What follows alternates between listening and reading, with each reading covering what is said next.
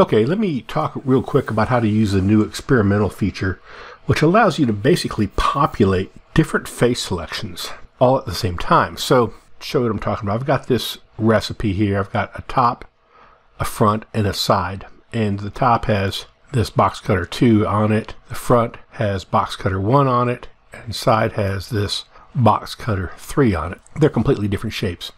So the way I want to do this is I'm going to select the box, tab into it, select the top face, and I'm going to turn all of these off except for the top. And I'm going to just say do it. And it's going to basically cut all the way through there. And with that done, I'm going to turn off this and I'm going to wipe it out.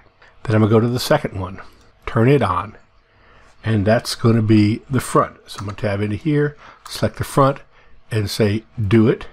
And that's going to set that up. I'll turn it off and clear it out.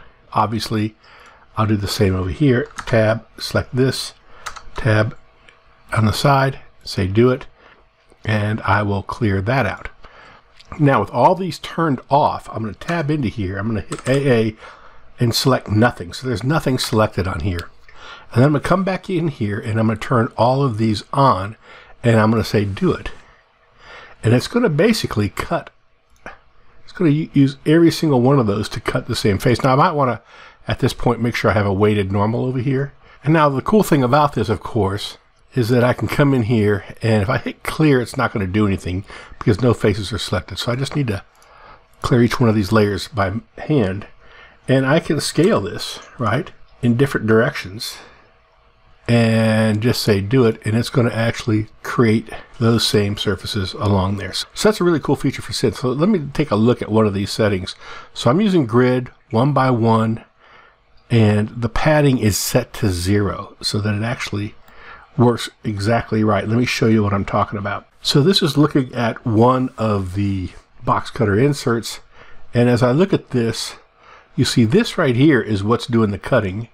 And here's my placement. And my placement and my placement wire is just a tiny bit larger than the actual insert that's doing the cutter. So this is a difference.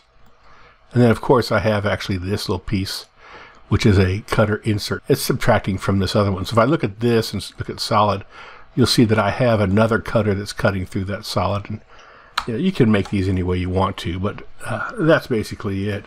And I've got three different ones of those. So hopefully you understand now a little better on how to use this experimental feature to populate all the sides at one time. The key thing is that when you tab into your box, nothing needs to be selected and then you'll be in good shape. Thanks for watching. See you later. Bye.